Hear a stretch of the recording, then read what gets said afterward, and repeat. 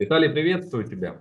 Уже в новом 2022 году новые возможности, новые, надеюсь, тренды. Рынок не заставит нас скучать, что-то там точно нарисуется. Мы, друзья, с Виталием продолжаем обсуждать технический, фундаментальный новостной фон, держим вас в курсе всего самого интересного, чтобы у вас была основа для принятия торговых решений. Вот из-за этих праздников у нас был небольшой э, временной такой лаг, пауза, когда мы в эфир не э, выходили, но сейчас как бы наверстываем, тем более, что э, все только начинается, честно говоря, с момента нашего, секундочку, последнего э, эфира с Виталием, особо-то существенно ничего не изменилось. Вот я сегодня буду комментировать там некоторые сделки, идеи, если ориентироваться, опять же, на одну из движущих сил рынка Форекс, валютного рынка, индекс доллара, те же самые уровни. Причем у меня сейчас график открыт. Фактически мы с ноября топчемся вот в диапазоне 95-80, 96-80. И событий-то на самом деле было много разных, э, значимых релизов, какой-то риторики от регуляторов, э, заседания, потом протоколы вот прошлой недели. Но ничего пока что не раскачало вот движение доллара, прям даже не знаю, что же должно произойти, чтобы доллар все-таки сдвинулся с места и стал более интересным для анализа. Возможно, уже фактически само решение Федрезерва а, по повышению ставки, либо по а, более агрессивному, например, сокращению программы количественного смягчения. То есть не ожидание того, что это будет дальше, что ФРС а, будет бороться с высокой инфляцией, а реальные действия, шаги и решения. Ну, даже не знаю. Омикрон тоже как-то вроде как и есть э, угроза для мировой экономики, а вроде как и нету опять же, а сколько а, точек зрения относительно низких показателей госпитализации, того, что люди вообще в крайне легкой форме его переносят, то есть э, больше похоже на обычный грипп и так далее. Хотя, как э, сгущали тучи, когда он только появился, исходя из темпа распространения, что это второй 2020 год нас ждет из-за того, что страны вынужденно закрываются, вводят повторные ограничения и так далее и тому подобное. Ну ладно, давай тогда к демонстрации экрана. Сегодня я хочу предложить э, несколько э, идей. Так, секундочку. Ну, во-первых, э, стоит посмотреть на индекс доллара, про который я только что говорил, но идея у меня будет э, по паре доллар-иена, по золоту сегодня. Кстати говоря, рынок криптовалют, э, возможно, у тебя будет что сказать, ты периодически касаешься этого сектора. Тоже очень интересно, опять же, как и ожидалось, действительно развитие нисходящей динамики. И, в принципе, опять же, из-за последних событий в Казахстане эту нисходящую динамику тоже были учили объяснить. Э, ну, ладно, посмотрим. Так, по индексу доллара, что стоит сказать? Э, прошлая неделя – это non-farm payrolls и протоколы. Протоколы точно были крайне жесткими в плане риторики, потому что большинство членов, э, голосующих членов ФРС э, сейчас начинают э, готовить все трейдерское сообщество, потому что в этом году ставки будут подняты трижды по 0,25%, может быть, даже раскачаются там на 4 повышения.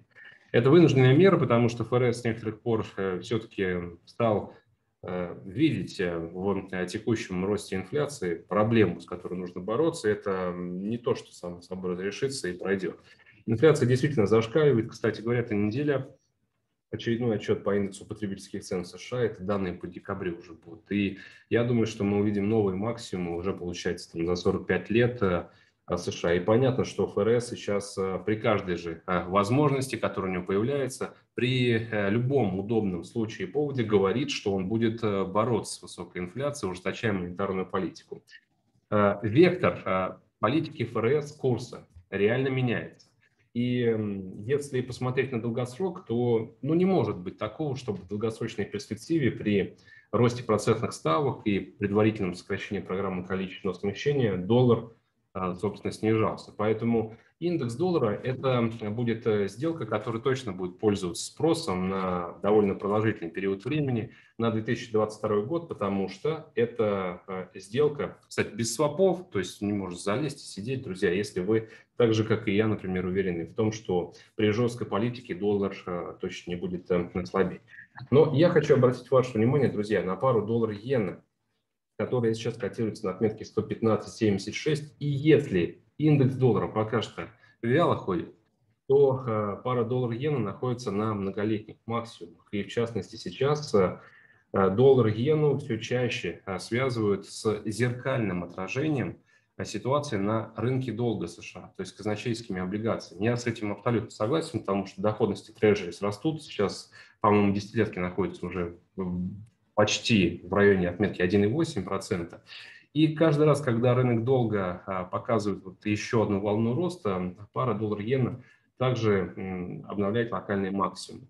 Я рекомендую дождаться закрепления пары выше 115 и 80, а, ее покупать с целями 117. Ну, хотя можно в качестве предварительной цели поставить э, стоп-лосс, точнее, take profit 116,5. Стоп-лосс будет на уровне 115,40. И, кстати, Э, банки, за которыми я слежу, это Bank of America, Morgan Stanley и Citi, они э, ждут э, в этом году 119-121 по этой валютной паре. Ну, диапазон получается как бы медианная оценка. Опять же, в расчете на то, что доллар будет расти на контрасте с тем, что ФРС ужесточает политику, Банк Японии, как мы прекрасно все знаем, проводит по-прежнему крайне стимулирующую политику. Так, что касается второй идеи, на которую обращаю ваше внимание, это золото, которое сейчас котируется на отметке 1792. Золото здесь тоже довольно, э, довольно понятная идея с э, тем посылом, что я только что рассказал про доллар. То есть при росте доллара, при э, росте доходности американских облигаций золото будет труднее конкурировать с трежерис. Это разумеется. И у золота сейчас, по сути, нету Э, поддержки даже в виде вот этой глобальной экономической неопределенности, которая ранее была связана с тем, что случится с мировой экономикой, если влияние микрона будет куда более серьезным, чем предполагалось. Но поскольку я начал, опять же, сегодня с того, что микрон все меньше э, звучит в э, СМИ, читается в статьях в каких-то негативных тонах, в долларах, к сожалению, нет э, поддержки и в виде страховки от какой-то геополитической и экономической неопределенности. Поэтому здесь только дорога вниз. И я рекомендую, друзья, шортить прямо с текущих уровней. Это 1792, ну, прям колеблется в районе 1793, с тейк-профитом на отметке 1750 и э, стоп-лоссом на уровне 1800. Виталий, слово тебе.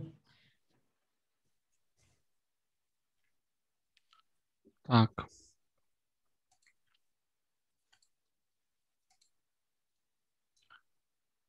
Как грузится? Угу. Итак, э, всех приветствую. Э, всех с Новым э, годом 2022, как на ну, для кого-то это хороший год начался, для кого-то это, как видим, сюрприз, да, был это как Казахстан. Довольно было так неожиданно. А, поэтому желаю всем счастья и профита в новом, новом году. Спасибо. А, дальше. Ну, пройдемся по рынку сейчас. Э, в принципе, э, почему ты говоришь, э, да, не было по каким-то инструментам движения сильного, но это касается сугубо индекса доллара, там евро-доллар, они практически находились в таком узком коридоре, достаточно уже месяц находится, чуть более. А вот фунт-доллар достаточно неплохо вырос, несколько, там 300 пунктов он где-то сделал вверх, в принципе, ожидаемо. Потом неплохо было движение по, по криптовалютам, просели, да, то есть тоже было ожидаемо, в принципе. Ну, то, что все связывают это с Казахстаном, там э, где-то около 20% завязано майнинг, майнинга или больше. Ну, там технически видно было, что что-то назревает в, а, по данным инструментам, вот взять криптовалюту, да, биткоин, а, пытались его как-то выше 45 тысяч там с копейками, 45 600 откупить, да, ранее, но снова, когда пришли к уровню, и здесь начали его зажимать, вот видно было, что такое идет э, понижающиеся максимумы локальные, скорее всего, будут поддержку вот эту пробивать, и, в принципе, я своим ученикам писал, что возможно работать на пробой лимитом э, по, по ниже этого уровня. В принципе, мы неплохо так прокатились, э, там около более 5%. То есть э, на текущий момент я пока вне рынка буду наблюдать, какая реакция будет на, по данному инструменту в районе 41 400. как там сегодня-завтра закроемся, идет mm-hmm. борьба за данный уровень поддержки. У нас, в принципе, возле данного уровня 40 тысяч не только в декабре откупили, а также это было в сентябре. Здесь начался сильный рост. Поэтому буду за, за этим уровнем наблюдать, пока каких-то глобальных паттернов здесь не вижу. А, будет ли здесь на пробой рисоваться? Вчера там с учениками обсуждали какие-то покупки. Ну, такое локальное наш один было, а, пока я его не трогаю.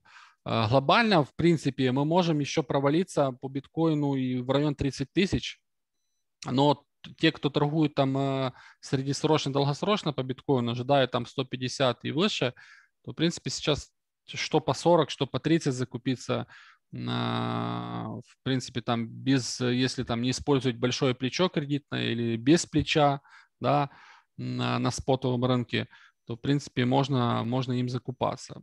Но пока каких-то таких конкретных идей я бы посмотрел, что здесь дальше э, реализуется. Э, рискованно можно купить со стоп-лоссом за минимум и посмотреть, возможно, будет какой-то локальный отскок.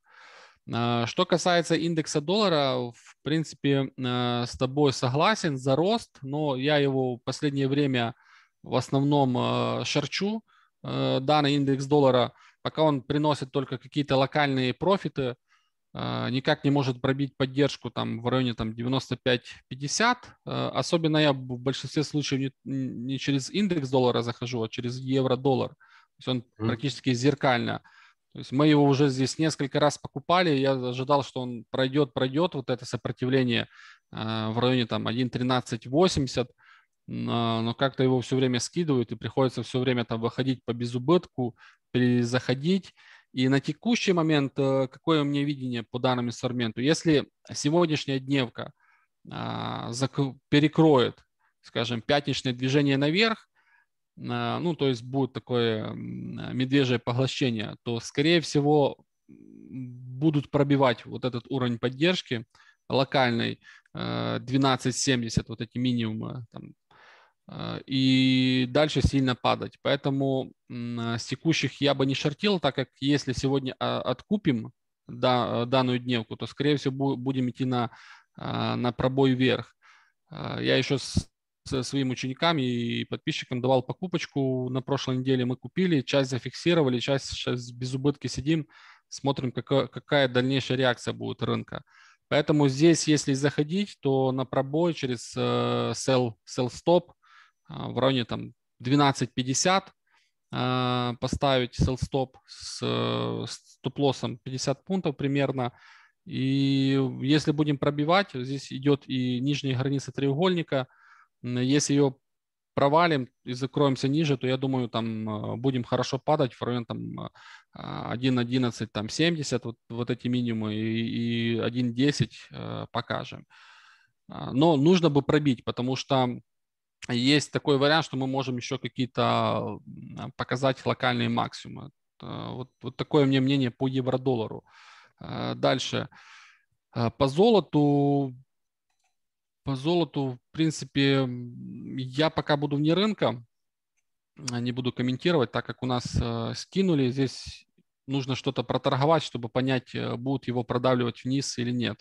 Но э, скажу так, в принципе, могут его продавить, так как э, у нас пытались у нас здесь расти, и все время его достаточно сильно скидывают, плюс мы торгуемся в этом импульсе, который был в ноябре, и если золото продавит еще вот, вот этот минимум, который был в декабре, то я думаю, там не только 1750, а возможно и поглубже провалимся. То есть в ближайшее время решится а, по данному инструменту, что и как будет. Так, ну и по S&P 500 а, дам, дам комментарий, идею. Ну, пока здесь э, покупками как-то не очень сильно пахнет, да, а, пробили мы в декабре, было все-таки рождественское ралли, да, в принципе, мы о нем говорили, что если будут откупать, то скорее здесь будут покупки, плюс э, давались ориентиры уровней.